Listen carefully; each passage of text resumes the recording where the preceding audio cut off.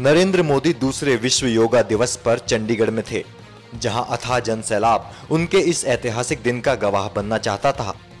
मोदी ने भी एक मंजे हुए योगी की तरह योग किया तो वहीं इस मौके पर विश्व के नाम संदेश भी दिया। मोदी ने योग के नाम पर होने वाले विवाद पर भी सवाल उठाया और कहा कि योग को किसी भी विवाद से ना जोड़ें। जन सामान्य की भलाई के लिए और इहलोक की सेवा के लिए, परलोक की सेवा के लिए नहीं। परलोक के लिए संप्रदाय है, धर्म है, परंपरा है, गुरु महाराज है, बहुत कुछ है। योग इहलोक के लिए क्षमता बढ़ाने के लिए है और इसलिए हम अपने आप को योग से जोड़े। सब लोग अपने आप को योग को समर्पित नहीं कर सकते, लेकिन खुद को जुड़ने के लिए योग से जुड़ना एक उत्तम मार्ग है। मुझे विश्वास है कि हम इस दिशा में आगे बढ़ेंगे। नरेंद्र मोदी ने योगा को प्रोफेशन के तौर पर भी अपनाने को कहा और लोगों को बताया कि कैसे योग करोड़ों का व्यवसाय है। आज योग विश्व में एक बहुत बड़ा आर्थिक कारोबार भी बनता जा रहा है। पूरे विश्व में एक बहुत बड़ा प्रोफेशन के रूप में विकसित हो रहा है। योग के ट्रेनर की बहुत बड़ी मांग बढ़ रही है दुनिया में। दुनिया के हर देश में मांग बढ़ रही है।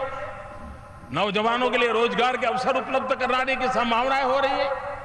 अरबों खरबों का कारोबार आज योग नाम की व्यवस्था के साथ विकसित होता जा रहा है। दुनिया में कई देश ऐसे हैं कि जहाँ टीवी चैनल 100 परसेंट योगा के लिए ही समर्पित हो, ऐसी टीवी चैनल चलती है।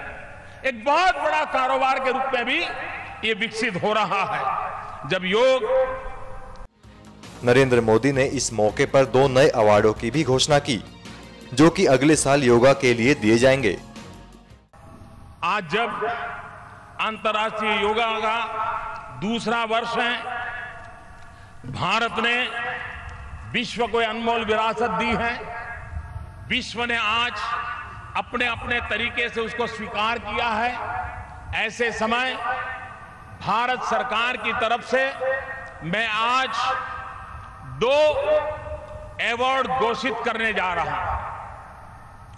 अगले वर्ष, जब 21 जून को अंतर्राष्ट्रीय योग दिवस मनाया जाएगा, तब भारत की तरफ़ से यह दो अवार्ड के लिए चयन होगा। उनको अवार्ड उसी समारोह में दिया जाएगा। एक अंतर्राष्ट्रीय स्तर पर योग के लिए उत्तम काम हो रहा हो, उनके लिए अवार्ड दूसरा, भारत में हिंदुस्तान के भीतर योग के लिए जो उत्तम काम होता होगा, उनके लिए अवार्ड एक अंतर्राष्ट्रीय योग अवार्ड एक राष्ट्रीय योग अवार्ड व्यक्ति, संस्था, हर कोई इसमें जुड़ सकते हैं। उसकी जो एक्सपर्ट कमेटी होगी, वो उसके नियम बनाएगी, उसके तौर तरीके बनाएगी, जूरी तय करेगी। लेकिन विश्व भर में जिस प्रकार से अनेक अनेक ग्लोबल अवार्ड की वाहवाही होती है, याद होती है, उसका महत्व माना जाता है। हिंदुस्तान चाहता है कि भारत विश्व के लोग जो योग से जुड़े, उनको सम्मानित करे। हिंदुस्तान में जो योग के लिए काम कर दे उनको सम्मानित करे। और ये परंपरा हम आगे बढ़ाएँ। धीरे धीरे इसको राज्य और डिस्ट्रिक्ट तक भी हम ले जा सकते हैं। तो उस दिशा में हम काम करने के लिए प्रयास कर रहे हैं। मैं फिर एक बार पूरे विश्व का, भारत की इस महान विरासत को सम्मानित करने के लिए, स्वीकार करने के लिए भारत की इस महान परंपरा के साथ जुड़ने के लिए मैं हृदय से विश्व का आभार व्यक्त करता हूँ। मैं यूएन का आभार व्यक्त करता हूँ। मैं देशवासियों का आभार व्यक्त करता हूँ। मैं योग गुरुओं का आभार व्यक्त करता हूँ। मैं योग के साथ समर्पित सभी पीढ़ी के लोगों का आभार व्यक्त करता हूँ, जिन्होंने इस परंपरा को बनाए रखा है और आज भी पूर्ण समर्पण भाव से योग की परंपरा को आगे बढ़ा रहे हैं। और जैसे मैंने कहा ज़ीरो बजट वाला है हेल्थ इंश्योरेंस इसको हम एक नई ताकत दे, नई ऊर्जा दे, नई प्रेरणा दे। मैं सभी योग से जुड़े हुए आज इस चंडीगढ़ की धरती पर मैं अभी बादल साहब को पूछ रहा था कि इस परिसर का इसका इतना उत्तम उपयोग इसके पहले कभी हुआ है क्या? मैं यहाँ बहुत पहले आया करता था, मैं चंडीगढ़ में रहता था। करीब पाँच साल में यहाँ रहा हूँ तो मैं भली भांति इन चीज़ों का परिचित था। तो जब चंडीगढ़ में ये कार्यक्रम बनाने की बात आई, मैंने कहा था कि इससे जगह अच्छा उत्तम कोई परिसर नहीं हो सकता है, और आज इस परिसर का उत्तम उपयोग देख करके मन को बहुत ही आनंद हो रहा है कि हज़ारों की तादाद में योग को के साथ जुड़े लोगों को देख करके मन को बड़ी प्रसन्नता होती है और विश्व पूरा जुड़ रहा है। ये अपने आप में गर्व की बात है। मैं फिर एक बार इस महान परंपरा को प्रणाम करते हुए, उज्जवल भविष्य की कामना करते हुए बहुत बहुत धन्यवाद।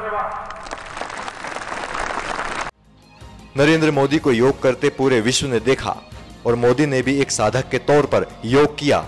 नरेंद्र मोदी ने इस मौके पर योग को धार्मिक कर्मकांड से ना जोड़ने की बात की। सभी देश अपने अपने समय की सुविधा से इस कार्यक्रम के साथ जुड़े हुए हैं। यूनाइटेड नेशन द्वारा पूरे विश्व में अंतर्राष्ट्रीय योग दिवस मनाया जा रहा है। भारत के अनुरोध पर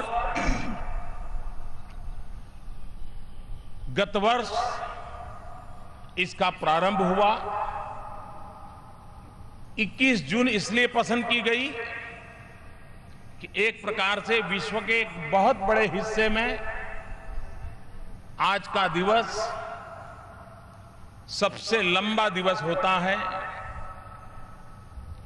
और एक प्रकार से सूर्य से निकट नाते का ये पर्व होता है और उसे ध्यान में रखते हुए 21 जून को अंतर्राष्ट्रीय योगा दिवस के रूप में पसंद किया गया। पूरे विश्व का समर्थन मिला। विकसित देश हो, विकासवान देश हो समाज के हर तबके का समर्थन मिला। वैसे यूनाइटेड नेशन के द्वारा कई ऐसे अंतर्राष्ट्रीय दिवस बनाए जाते हैं। मैं सबका उल्लेख नहीं करता हूँ। लेकिन शायद यूनाइटेड नेशन द्वारा मनाए गए इतने सारे दिवसों में कोई दिवस जन आंदोलन बन गया हो, विश्व के हर कोने में उसको समर्थन और स्वीकृति प्राप्त होती हो, शायद अंतर्राष्ट्रीय योगा दिवस की बराबरी कोई और दिवस नहीं कर पा रहा है। एक साल के भीतर भीतर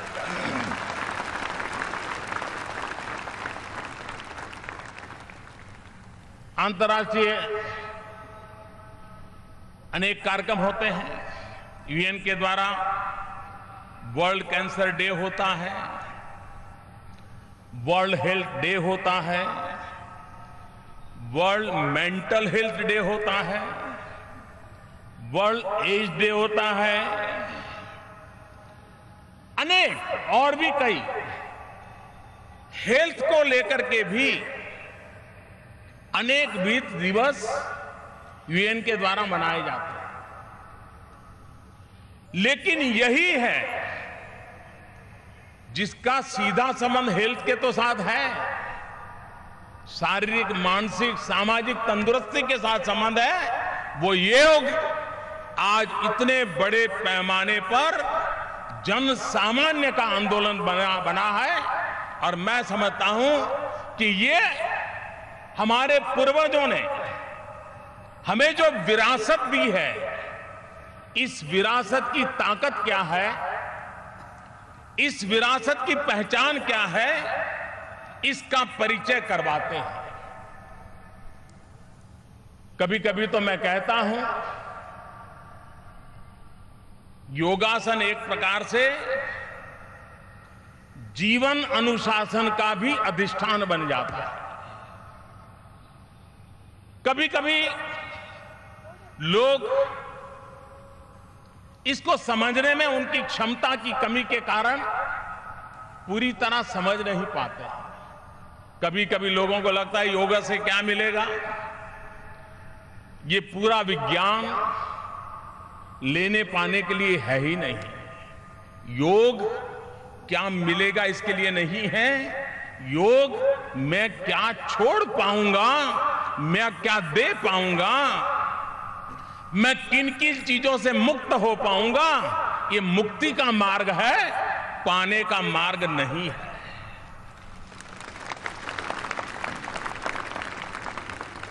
सभी संप्रदाय, धर्म, भक्ति पूजा पाठ वो इस बात पे बल देते हैं कि मृत्यु के बाद इहलोक से निकल करके जब परलोक में जाएँगे तो आपको क्या प्राप्त होगा?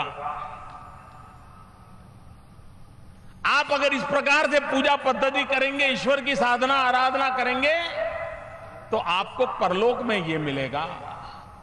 योग परलोक के लिए नहीं है। मृत्यु के बाद क्या मिलेगा? इसका रास्ता योग नहीं दिखाता है। और इसलिए यह धार्मिक कर्मकांड नहीं है। योग इहलोक में तुम्हें मन को शांति कैसे मिलेगी, शरीर को स्वस्थता कैसे मिलेगी, समाज में एक सूत्रता कैसी बनी रहेगी, उसकी ताकत देता है। ये परलोक का विज्ञान नहीं है यही इहलोक का विज्ञान है। इसी जन्म में क्या मिलेगा, उसी का विज्ञान है। और इसलिए योग के संबंध में शरीर, मन, बुद्धि, आत्मा, ये सिंक्रोनाइज वे में काम करें। इसकी एक ट्रेनिंग योग के द्वारा होती है।